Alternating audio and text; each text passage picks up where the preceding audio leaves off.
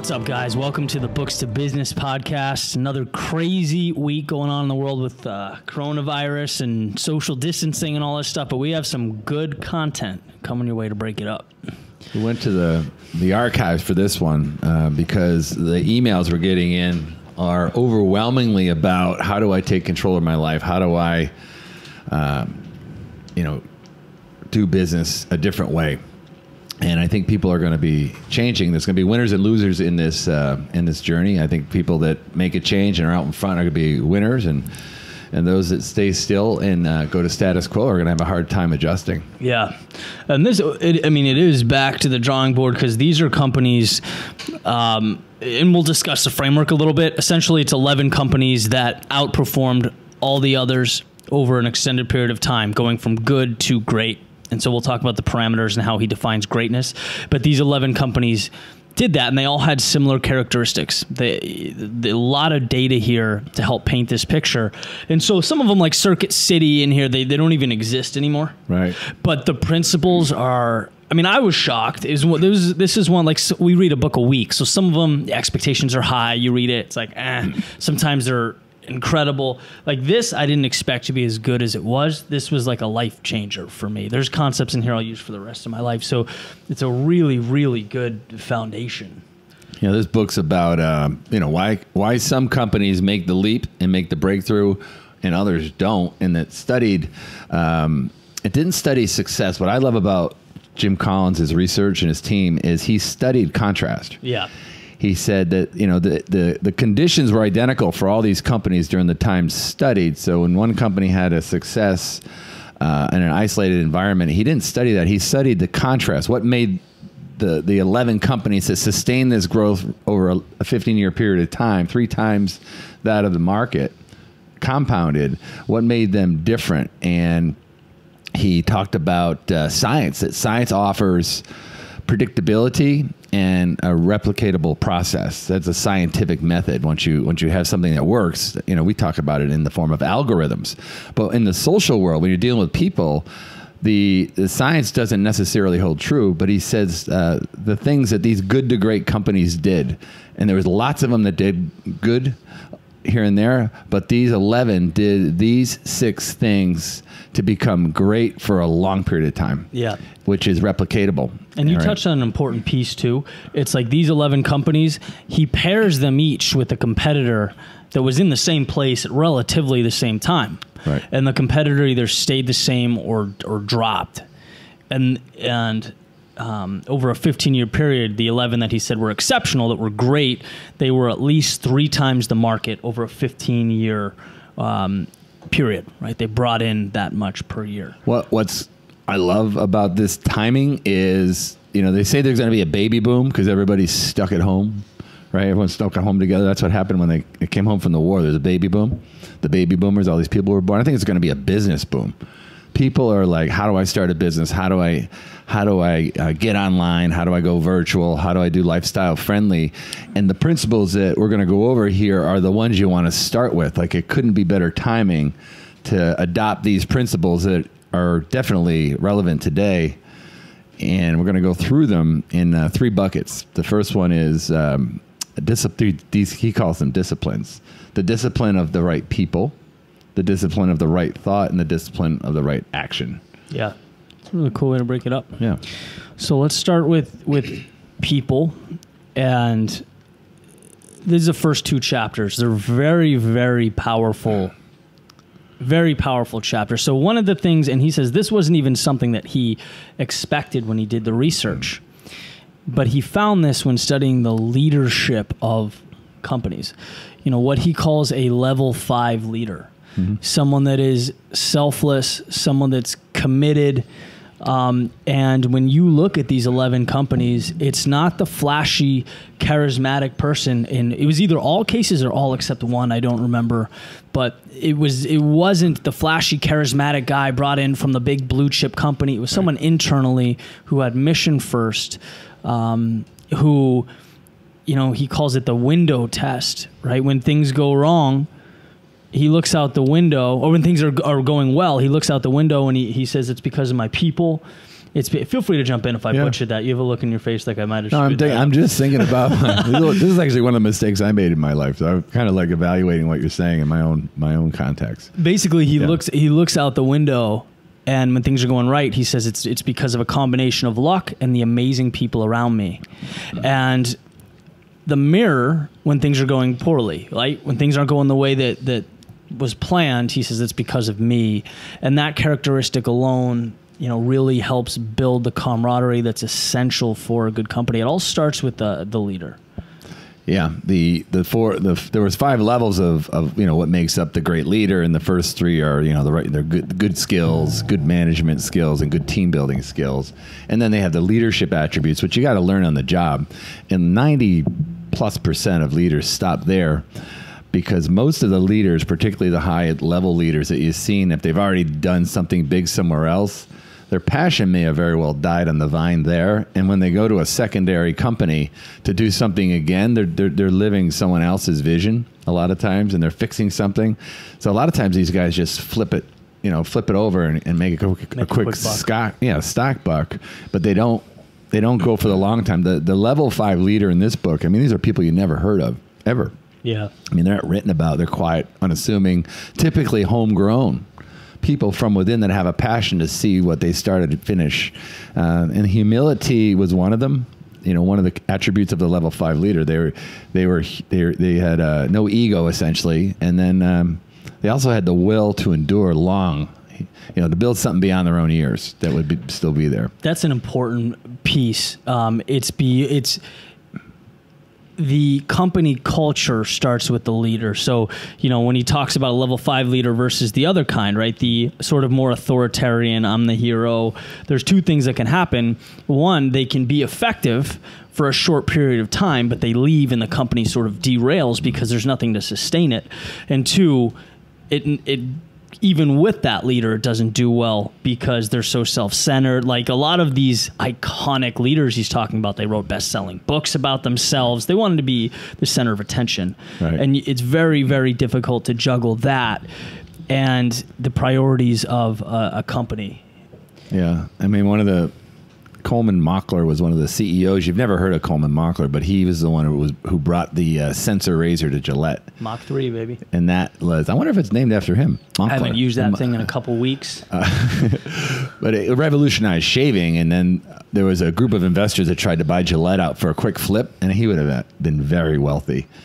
And he passed, and for the greater good of the company, he made that the deliberate decision. Like, hey, this is for everybody. It's a long term. We're going to be preeminent. Yeah. And for in every case, for those that bailed, if they stayed with Gillette, Gillette was like one of the best performing stocks for the next 15 years, like 15 times the market.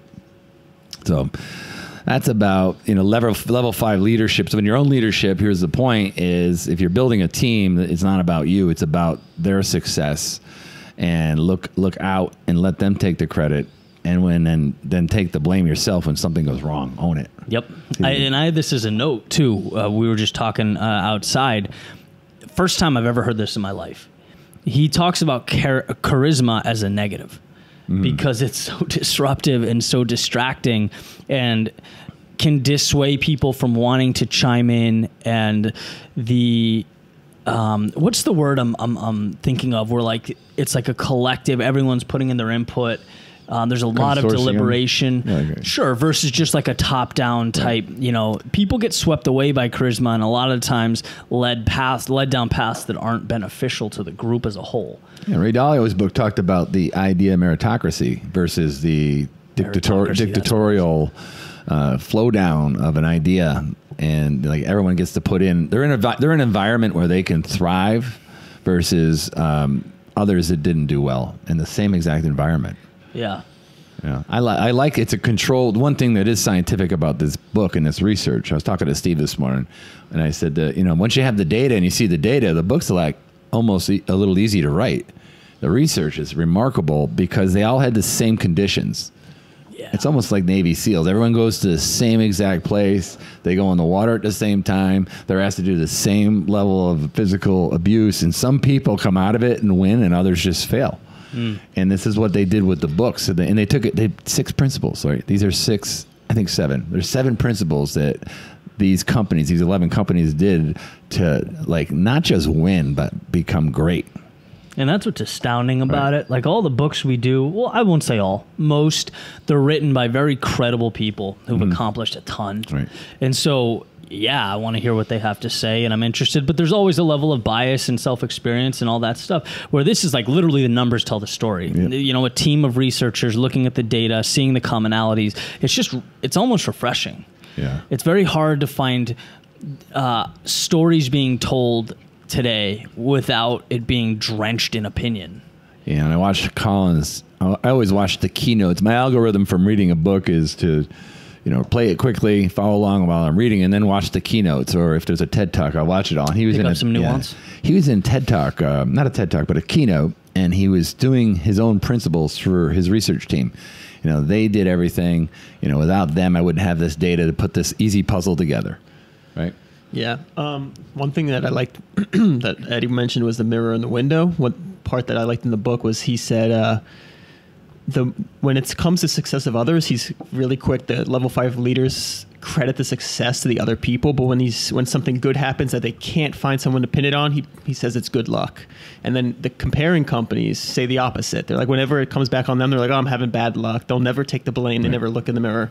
So it's like not only is it good luck for the top leaders, but the same similar leaders that don't do well say it's bad luck, and they don't want to give any credit to anyone else. Well, anytime a company fails, uh, it's always leadership. It's like, oh, it must be leadership's fault, and it very well could be. Um, but there are other evidences of shortcomings that are pretty compelling that these principles will touch on. You, know, you have the right leader, right, and then but then you also have to have the right people. You know, in the discipline of selecting the right people, and mm-hmm. he has a principle called the bus. Yeah, yeah. So the bus and the what really makes this special is the the order of things, in my opinion. Right. So the the idea is you want to get the right people on the bus which sounds intuitive. Any company, you want the right people with you. But what Collins does is emphasize that it's not about the people, it's about the right people. And you want to fill that bus with people that have your back, that have the same vision before you even have an objective, before you know where you're going, before you know how to get there. Because when you have the right people on the bus, mm they're capable of adapting. They're capable of changing. They're capable of creating a new, um, you know, life for the company. Um, so he really emphasizes that, and it's a unique way to put it. Yeah, he uh, talks about uh, who first, then what. Yeah, which I love. Uh, the right people on the bus and the wrong people off the bus, and then once you decide what you're doing, put the right people in the right seats. When you put a talented team together, you can do anything you want to do if you have the right uh, capabilities and the right symbiotic um, environment led by the the right leader. Mm-hmm. So the right people, um, you know, the right people focused on excellence. I mean, that's one of the and these people are not not focused on just being good because good in this book and in, and I believe this too is the en- enemy of great. Yeah, you know, just like um, I think distraction and clutter is the enemy of success like when you have too much clutter and distraction and noise in your business, you can't focus on what it is you can do.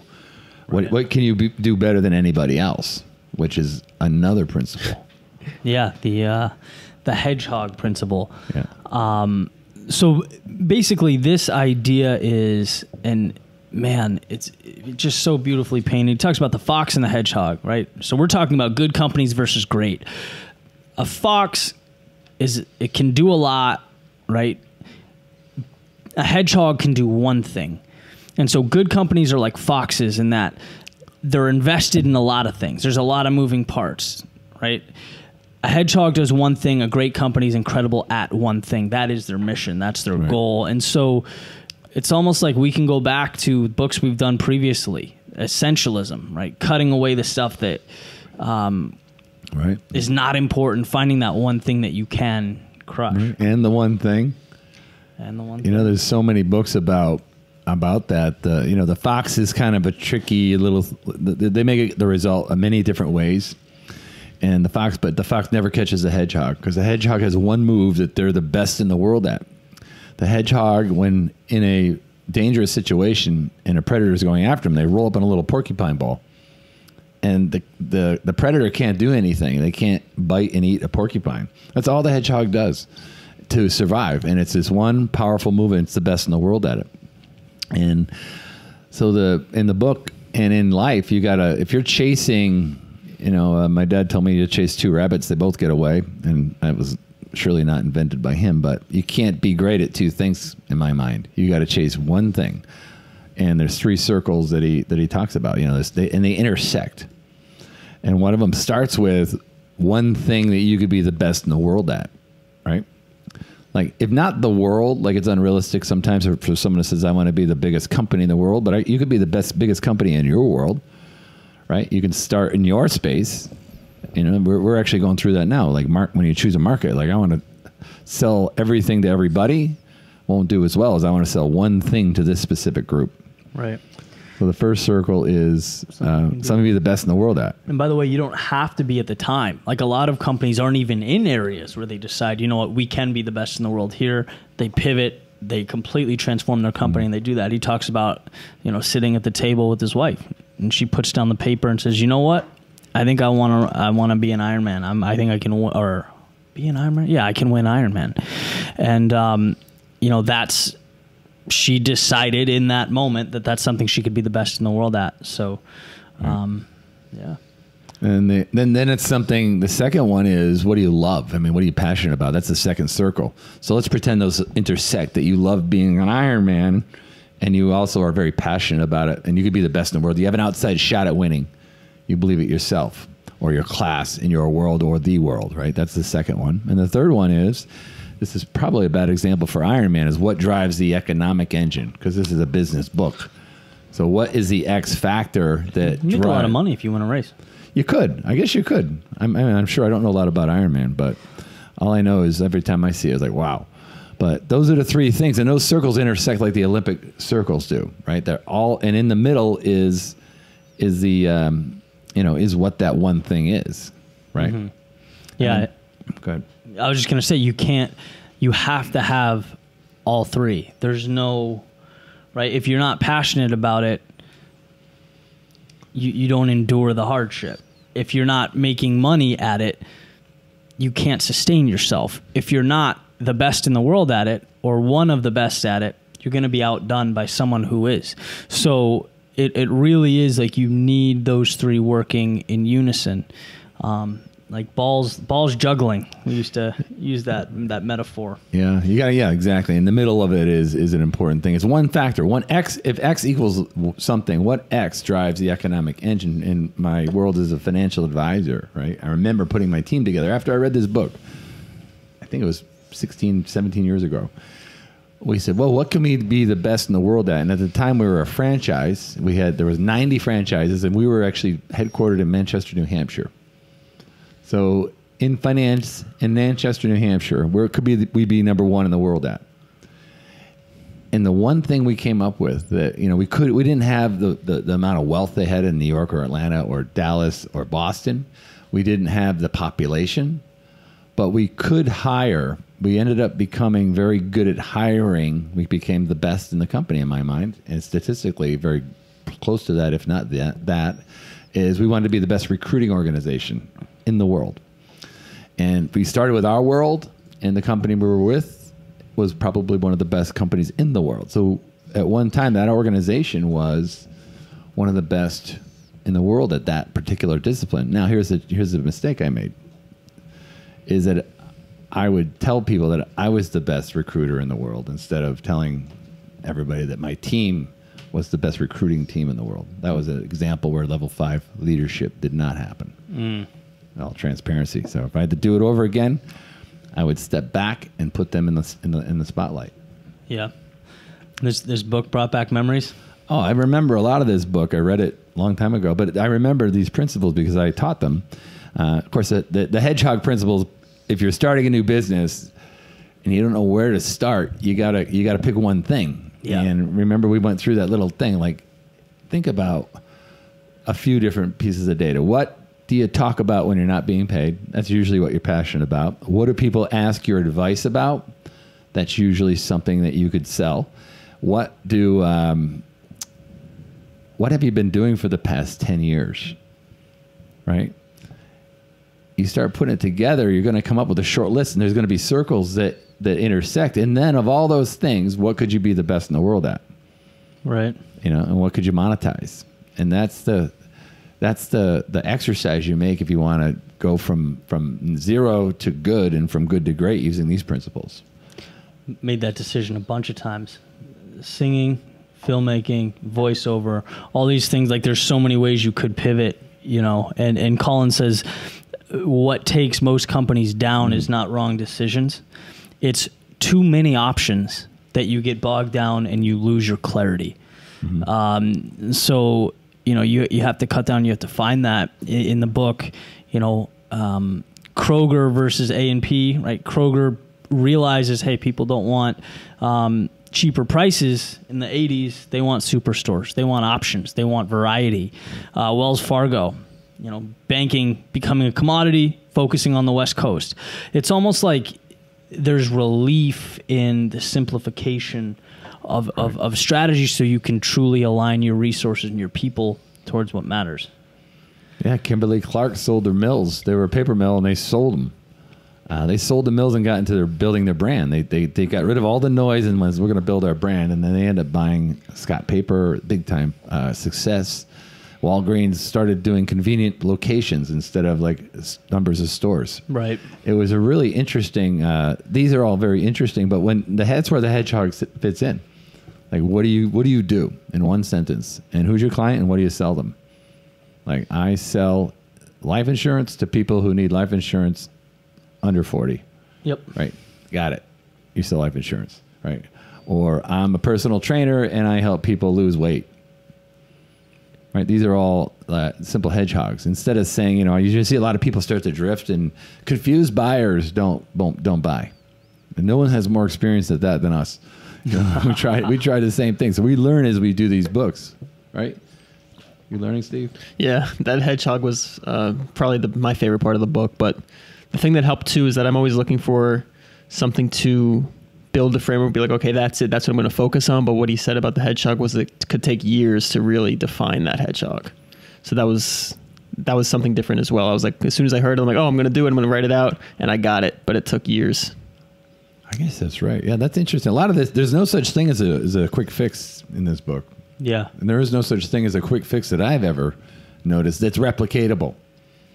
There are quick fixes. You can get lucky. Some people got lucky. You know, some folks got into the social media space first and early. They popped. Even bad bad people did well, but that's not replicatable. You want to say if you pick up this this concept, you know, being a level five leader is replicatable. Uh, using the bus principle is replicatable. Going to hedgehog is replicatable. So in the first three the first three principles in a pursuit of excellence, uh, you are looking at, you could stop the video right now and, and stop the audio and walk away and be very, very capable to run a very good business. But you could get better. Yeah, and and to Steve's point, they take time. So it's not there's no there's no um, like Collins talks about the, what people see in a magazine cover or something took 17 years to come to fruition. So all these little pivots, it's following an idea, the hedgehog mentality. Um, and doing the right things, having the right people on the bus, having the right leadership, and just chipping away day after day after day. Um, and then eventually you're left with something that stands apart. But people, you know, it's like anything. People only see uh, the guy on the podium. They don't see him They, slaving they away. see the uh, the chicken come out of the egg. He said, and then it's like, but you don't know all the processes that went on the egg to fertilize it and all those things. They just see the egg hatching. So that's kind of like how he says in the flywheel thing. It's like compound. A discipline that that I think you really need to be focused on too is when to kill something, and it's just not working. That's a very dangerous um, decision to make. You know, when you kill something, and and he, you know the principles that he has is the the concept of the Stockdale principle. Admiral Stockdale, James Stockdale, was a prisoner in the Hanoi Hilton, which is a Vietnam prison camp. He was the highest ranking prisoner of ever, and they tortured him brutally from 1967 to 1974. Terrorized and tortured this poor guy. And actually, uh, McCain was also in the same prison and he survived and while others didn't and the paradox in this is, you know, what was the big idea here? Well, if you asked uh, asked him what helped him survive, is he faced the brutal the brutal facts. All right, and then he had the faith to he had the faith to know that he'll endure. All right, and then he'll make this a, a defining moment, like the the discoveries of a defining moment. So in the in the you know in the, in the discipline of thought, you got people that are like real, and that's when you can say, "Oh, our hedgehog is X, but X didn't work out." Yeah. Right. I like to say head in the clouds, feet on the ground. Right. So like belief in an end product, 100% buy-in that it's going to work. But being totally clear and open to reality, not disregarding what's in front of you, um, learning from it, taking it in and using it to create your reality. Um, because where people get lost is they disregard what's on the ground. They disregard the reality in front of them and they make decisions based on, you know, to your point, well, I'm going to be out for Christmas. I want to see my family. End goal, Right. family. And you forget like, no, that's that's not the reality. And the companies that that became great were very pragmatic in terms of the story happening in real time, how they can approach it, benefit from it, and change it. Um, so yeah, the, I, I love that. I was talking about the Stockdale paradox all the time now. It's like, Oh, we're in it. We're in it right now in real life, right? we have uh, we got we got a president said there's going to be 30 more days. yep, We're going to be in quarantine for 30 more days. Like, isn't that unthinkable? We've already been in quarantine for what, two weeks or a week? I think a, two A little over a week? I don't know. I, I mean, this is the this is look at the brutal facts. What if this happens for six months or a year or two years? Are you prepared for the long haul? Is your brain conditioned to have the faith that you'll you'll you'll get through it and the and the discipline to confront the brutal fact that this could be a defining moment in your life? right. Right? That's the Stockdale principle. What's the brutal truth here? It's 30 more days. He didn't say, and we'll all go back to work on May 1st. He said 30 more days. Right? And they don't like giving that number out. Yeah, we can hack it. We're tough. Yeah, we're hacking it. Yeah, we're making a lot of it. We're, we've, we've been more productive in the last two weeks, I think, than we ever have been. By two or three times. Like Yeah, it's high. I mean, it's noise and minutia is all. I mean, granted, there are some sacrifices being made, but you can either dwell on that or you can ramp up everything else. We're doing the latter. Yeah. Well, there's some things we can't do. Uh, we can't do any any live speech speeches. Uh, we can't do any you know any travel whatsoever. But the things we can do, you make the most of it. Right. And that's the whole concept of what's the brutal brutal truth here. is You better get really good at you know leveraging some technology to communicate over the phone. You better get pretty good at picking one thing you could be really good at that way that will endure no matter what. Anyone banking on Easter could be dead from a broken heart right now. Oh my, oh my God! If they did, that's right. Going home for Easter. Uh, they're also, you know, that's a, that's interesting. It's interesting that you say that, but A little rough, but true. the truth. Yeah, the, the truth. Um, so we got so we did people, thought, and now we're on action. Yeah, the last one, discipline. And we touched that touched on that a little bit. To succeed, your company needs the to be a hedgehog. Right. Now, as you probably would have guessed, it's not easy to be a hedgehog. It takes discipline Right. and uh, you know that's what he talks about that the idea of the don't do list everyone talks about acquiring and we talk about on this podcast all the time the, the mindset of i'm not where i want to be what can i get what can i add what can i acquire what can i build versus cut cut cut cut and what i keep finding in business and everywhere else is that you should always be going there first like the answers are always in doing less Absolutely. Yeah, making decisions, uh, cutting away, and you know, decision isn't about adding something to your life. It's about cutting something away. That's what the word means. Uh, you know, to cut away from. Decision, decide, d away from, decision, cut. And you know, the discipline of not to do things is, is hard. It's hard. You always see people drifting into, into, um, into different parts. When I was when I was a young manager, my job, I was, I, you know, when you become a manager in financial services, you were once a salesperson. So you become a manager now. And when I the, the people I was managing, I was a way better salesperson than them. So I started, you know, going out on appointments and making the sales for them. And my, my, my mentor was telling me, he's like, no, no, you're not allowed to do that anymore. You need to teach them how to sell so they can go sell on their own. Hmm. So he used to catch me doing that. He'd catch me on the way out the door. He'd like go through my, my books. He'd find a file and he'd make me go back in the office. But it, you know, it's like, you can't, you know, to have the thing work right. There's, if you wanted to be a great manager in this case, I had to be better at a different skill that, that, be, that made me a great salesperson. So you have to, you know, cut that away and become just make a decision to become great at this and stop doing something else. You'll see that a lot. Exactly. The the best companies they put systems in place and they gave their employees you know they, they pushed an entrepreneurial spirit that mm-hmm. existed you know at, at the startup standpoint but the the limitation was the system right? So the employees were you know should be themselves and felt free to be themselves within the confines of the system that was in place. So the way collins says it or articulates it is you shouldn't have to manage the people they'll be themselves they'll bring their own unique talents and skills to the workplace you need to manage the system because the system is what builds the company's identity creates the discipline that allows you to be a hedgehog otherwise you go 90 million ways you become a fox you see a you know uh, a light and you chase it and that's just that's what kills uh, kills a business Yeah. Oh yeah. Chasing too many things definitely kills a business. He did a, uh, talked about Disney. Oh yeah.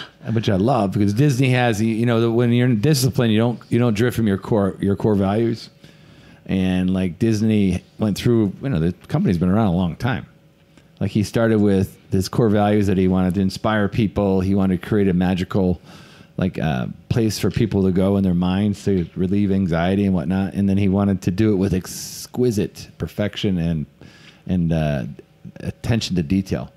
Those were his core values and he started you know he started writing on a pad like cartoons and then he went into live cartoons and then he went into theme parks then he went into what else does he do? Cruise ships. Uh, yeah. i mean the company's a giant company but it all started they don't never they don't ever drift away from their core values. They're closed for the foreseeable future. I just saw that yesterday.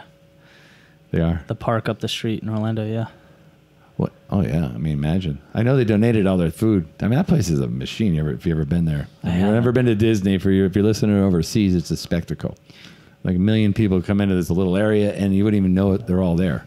It's so perfectly run. I It's so have this perfectly idea in my head that you just wait in line for four hours for a ride. So like, have you been? there was a Disneyland where I grew up in oh. California, but I've never been to Disney World. oh no kidding. Yeah, just oh man, I hate lines. That's you got to go when it's real hot in Florida. Have you been? To, you've been Of course, used to live yeah. in Orlando. right? Yeah, it was. It is a lot of lines, but if you go when it's like down season, it's pretty. It's not bad. That's the way to do So it. So summer. yeah, when it's blazing. They figure it out though. They have systems. I mean, to, to speak to this, their core values aren't compromised by the amount of people. I think they'll cap it when it starts to become like over overflow, which a lot of companies that could care less won't. Yeah. They just let them keep coming and taking your ninety bucks. What was interesting? About, sorry, go ahead. It's a good. It's a it's a good experience even when it's busy. You know, I find that it's Yeah. very impressive that they never drift from. You can't find a piece of trash on the ground at Disney. Really? You can't find one. It definitely loses magic when you live there and you, if you go often. So it's definitely good to do. I thought you were going to say when you were 30. that too. It's a little different. It's a- Then. you got to go. We should do a, a podcast up from Disney. We'll rent a Family trip? You got a pretty cheap room up there right now, but we're only three and a half hours away. Uh, one thing about Disney that is interesting is the the experience um, when you go to Disney. I hadn't been in a while, and I got close to the park. I parked very, very, very intricate parking system. You take a tram or a train to a place where you get off, and then you start getting close. You when you get a little a little closer, you start hearing music yeah. one of the Disney songs, and you know you got then it, and then then there's some smell that hits you from the food, and then the it. colors. Churros. Uh, yeah, just something like that. Yeah, and then the colors hit, and I sat there one day because I was reading all these books. I'm sitting there on a on a on a bench outside the park, and I'm seeing people like they're you know wanting to beat their kids up, and they start smiling when they get close to the thing. You know, they've created a great, you know, obviously a great environment for people to experience Yeah. you know, sight, uh, ears, and, and, and sound, or and sound, or sound and uh, taste. Really interesting. What I liked in the book that was interesting about the core value uh, was that he said that all the level level five leaderships or the great companies had core values that they stuck to, but they weren't the same. Like there was no consistency between which core values they had. Which I thought there would definitely be some kind of correlation between a few, but there was like none. It was just having core values.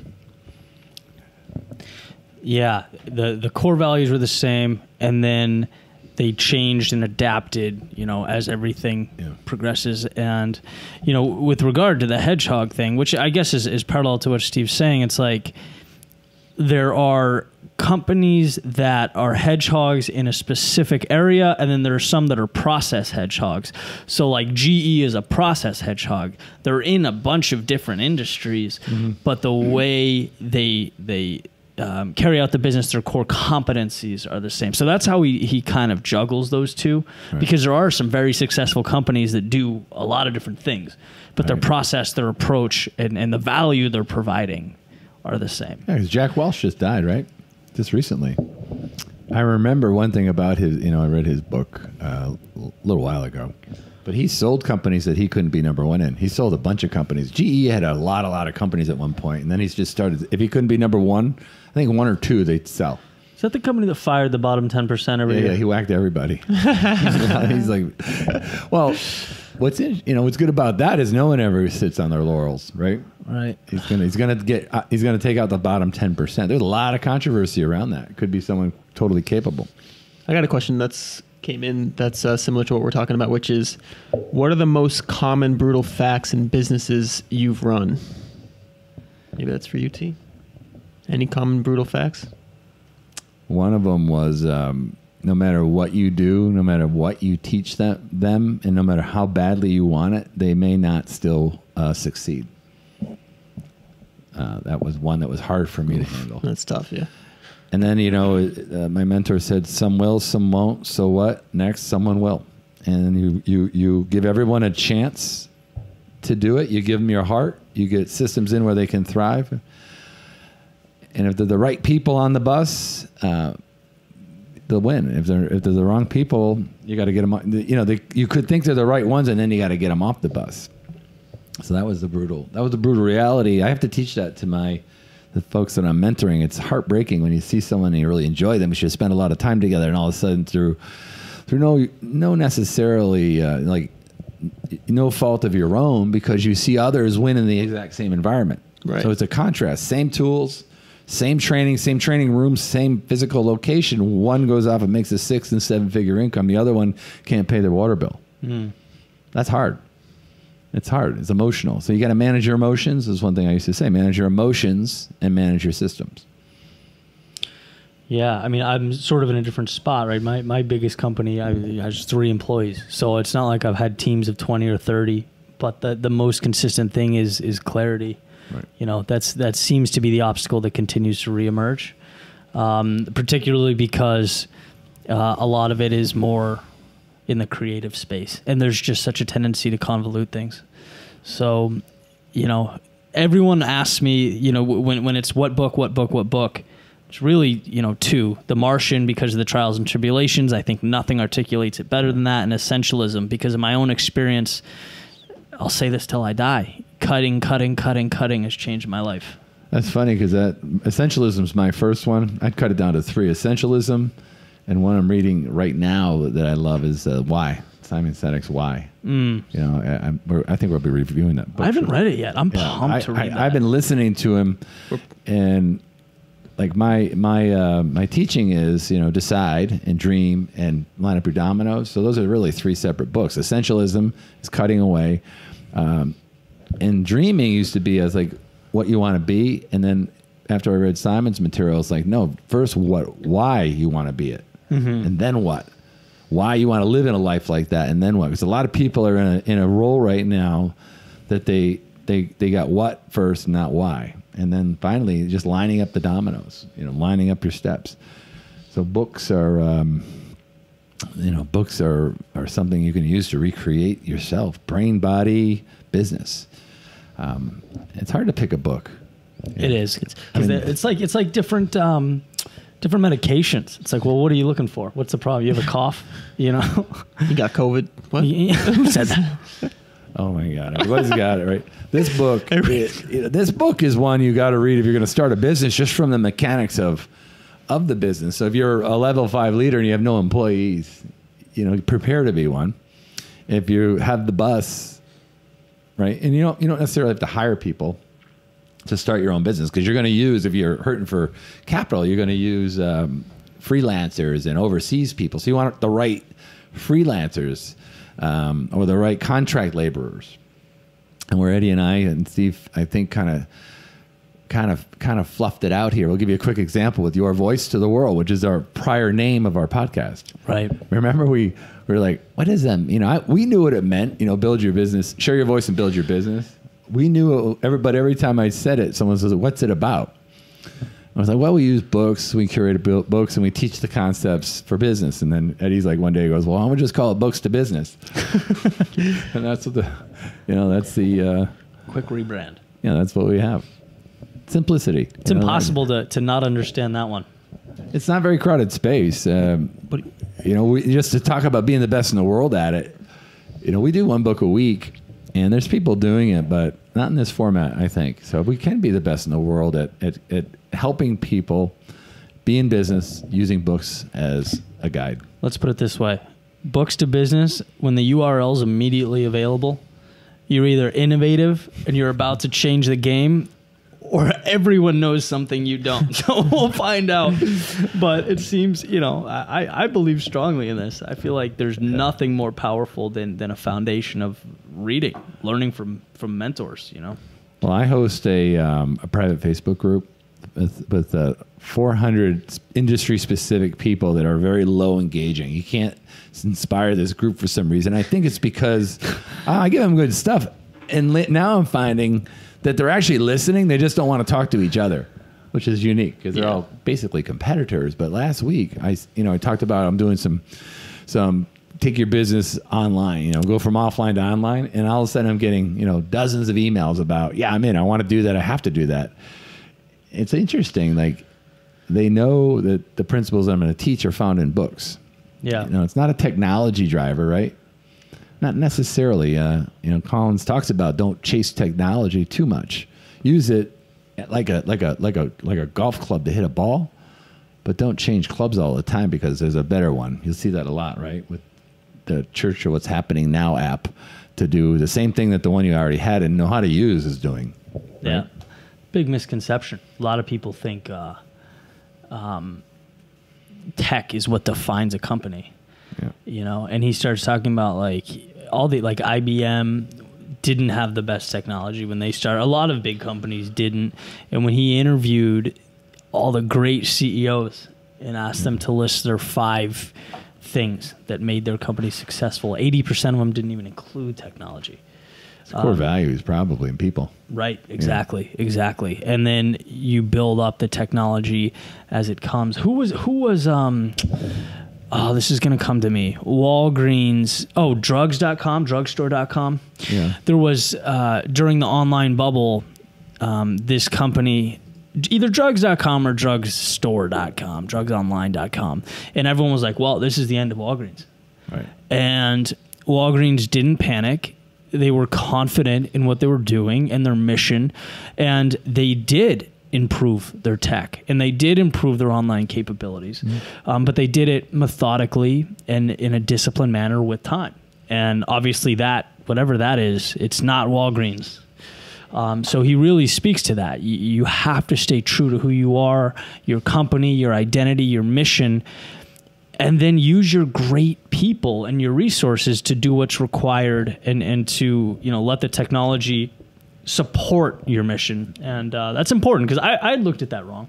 You know, I would Yeah. always think you hear about current stuff, and we were talking. You know, this this book's old now. Um, I don't what fifteen years. At least I'm. I think about that. Maybe more. So, so I don't know, given the rapid change in technology, like how that varies. Um, but like, I would see the Netflix and, and all these companies and just think, you know, technology is what makes or breaks the company. And he says, absolutely not. In 19 years. Um, you still won't get those extraordinary results without good leadership, level five leadership, having the right people in the right focus, making sure they're real about their, you know, these are all the principles, you know, focus on one thing and discipline. You still need those non technical attributes to be successful. Yep.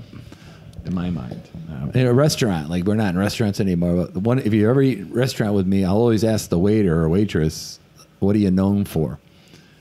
And I know whether or not I have a trained waiter then, because a restaurant should be known for something. Have you ever been to a restaurant with all kinds of food? Like it's like they're not really good at anything. Or you go to an Italian place and you go, "You got to try our meatballs." They go, they like right, they light up. Like, oh, thank God someone asked me. The meatballs are the best. They're the best meatballs in the world. It's a classic example where they're good at something and everyone's around it and the discipline to promote it. That's when you scream at them and tell them they're not a hedgehog. Right. Like you got no hedgehogs. you not a hedgehog? hedgehogs, man. Um, I liked when he talked about the disciplined businesses, but he gave comparisons. Like they could have a whole disciplined operation from the outside looking in, but you that doesn't mean you have a tyrant as a leader that's just beating you down with discipline. It has to come from the people, and you make the people disciplined first.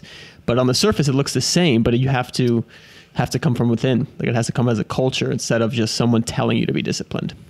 It's like a sports team in the media. I was going to go there too. Were you? Yeah. Yeah. It's like, what's what's this, and are you getting along with it? It's like, look, we're good inside. We know what's going on. We're uh, or what? What's the what's the Belichick? Do your job. Do your job. We're on to next week. Right. Yeah. You can't get six words out of that guy. Talk about a guy who's a hedgehog. I love that. Well, a big deal that you can watch. Everyone's going to watch. Like, is it Tom Brady or is it the system? We'll see. I think it's both. Like like anything, the answer usually is somewhere in the middle. But he he brought a kid when Brady got hurt. He brought a kid in, and the kid's a quarterback for the the 49ers now. Like very talented person. So it's very difficult. But in in cases of great teams, like you'll see these great players, Brett Jordan and Kobe Bryant and Relentless that we that we looked at. Then you see these great coaches like uh, Davis, Lombardi, Nick Saban, Bill Belichick. You know, there, it's a really interesting management. You know, it's a combination of having the right leader and the right people on the bus, wrong people off the bus. I think Yeah. that's a really good analogy in sports. I love how you put it. Like it doesn't matter when you're talking, what industry you're talking, those principles will always be there. You know, they're they're fundamental. Never before has this level of research given a as near possible scientific explanation as to why these companies do well. A replicatable process, seven of them, mm-hmm. versus the hundreds and hundreds and hundreds that in the same environment didn't. Like these are timeless. Like we apply these today, and you keep applying them. Anytime something's going wrong, step away and look at these principles. So I got the wrong people in the wrong place. Are we losing track? Are we losing our discipline? Are we drifting from our core values? Are we chasing the envious technology others have? Like Yeah. Berkshire Hathaway has that that uh, that discipline, right? You know, Charlie and Warren Buffett aren't chasing technology stocks. They're not technology people. You know, they stay, they, they, they, they they eat at their own restaurants. They, they do what they know what they do. They're growing rich in a niche. They have a don't do list and that guides them Yeah. what not to do. It's kind of interesting, these disciplines that Jim Collins writes about are, are were already spoken about at like 10 different times in our books that we've already, already reviewed. That's why this is an easy book to talk about. What do you think? Should we set up next week here? Yeah, got any more questions? Uh, uh, yeah, we have some more questions actually. take one more? Sure, Yeah, sure. I also have one fact that we did not talk about that I have to bring up. Go for it. The flywheel, which is that there's no breakthrough. It's just constant work. Uh, We did touch on that people like have the breakthrough or like they only see they don't see the things that are going on behind the scenes. But he talks about the flywheel pushing it, pushing it, pushing it, and then as soon as it builds momentum and acceleration, the energy you put into it starts to fuel your own energy. And people don't see that. They see the breakthrough. They want to see what happens, but they don't see the people pushing it consistently, nonstop, working on that. I love that one. Yeah, that's interesting. The the uh, it's a little bit like the domino effect. Pretty soon, these very large. It starts off with something very small and redundant, and it takes time to build up. So you have you know process, build up, build up, build up, and then pop. You know, breakthrough. You get a like it's a you know there's a book about it called the tipping point. It's like hard to get something to the very top, and when you can't push it anymore, you just give it a little more effort, and, and it takes over momentum. Cool. All right. I have uh okay. Take one quick question. Sure. It says, in what ways can we make our mindset instilled with greatness? What ways can we make our mindset instilled with greatness? Wow, that's a blank canvas type question. Um, well, in this book, the Stockdale principle, the Stockdale paradox, you know, it's um, it's contrast, big thing and little thing, and so your mind. You have to know and trust yourself. Like a big part of life is just trusting that you won't let yourself down. You know, so trusting that the big picture, I'll succeed, I'll be the best, I'll make it happen. And way down in the weeds, understanding what's going on around you, being real, being pragmatic. When you lose or you fall on your face, having the courage to really dive in and look at the pieces and analyze it and understand why. Mm. Um, so that you can continue to get better as you march and you take those little steps towards the big solution that you know exists. So, um, I think if we're talking about context from this book, that's what I would say. I would, I would combine the hedgehog principle from this book. Once you decide what you could be the best in the world at, or your team could be the best in the world at, then you to take one from uh, How to Win Friends and Influence People. You give yourselves that reputation to live up to. Mm-hmm. You promote it. You talk about it. You say, "I'm this. We are that. We're the best at this. We can help you do that. We can solve this problem." And then you you just live it passionately and and be real. But that's you know, mindset is everything. Nice. And that's our product. All right. So we'll wrap up with next week's book. We're going to do Talking to Strangers, which it is on the bestsellers list. We're all big fans of Malcolm Gladwell. I don't know this book, or you guys might even know more. I, I don't even know what I it's haven't about. read it. I didn't even know I owned it until Steve found it in a shelf. yeah. I must have. I think Tai Lopez recommended that book, and I just haven't read it yet. Oh, really? Yeah. I'm pumped. I mean, I've read Outliers. I thought it was fantastic, and this is uh, very high up on the New York Times bestseller list, or it was as of last week. So, What's the subheading to it? Um, what we should know about the people we don't know. Oh, it's so good. Try knocking on doors for a year. Yeah. Knock on doors. Right. Well, right now you can't do it, but you learn a thing or two doing that. not not as much as you think. I, if I was more aware, I you know I wasn't as aware as, then as I was now. I used to get pissed off and take everything personally when I really really should have just trusted in the process. That after a while, someone's going to need what you're what you're there's what you're selling or what you're asking to help them with. But uh, I don't know what the, I mean. I'm excited to read this book because I like I like the concept. I think there's a lot of um, a lot of uncertainty when you want to meet new people and break out of your little social circles Yeah. to try to grow, particularly in leadership. You're going to be in leadership, or you're going to be building and leading teams. I'm think I'm hoping uh, that this book will shed a little light on team building, maybe. We'll find out. We'll be back with uh, Talking to Strangers next week. If you are around and you're quarantining or social distancing, read it with us. Check it out. Ask us some questions, and uh, it'll be fun to, to get even more people involved in this conversation, like a, a little little book club here.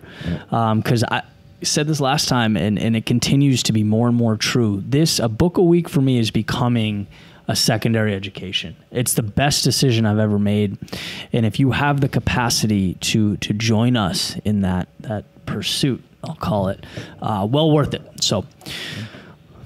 Uh, you want to drop the number, Steve? Yeah, sure thing. Text us at 754 273 6069. Just text us just like you would any other phone number. All right. See you next week, guys. Take care.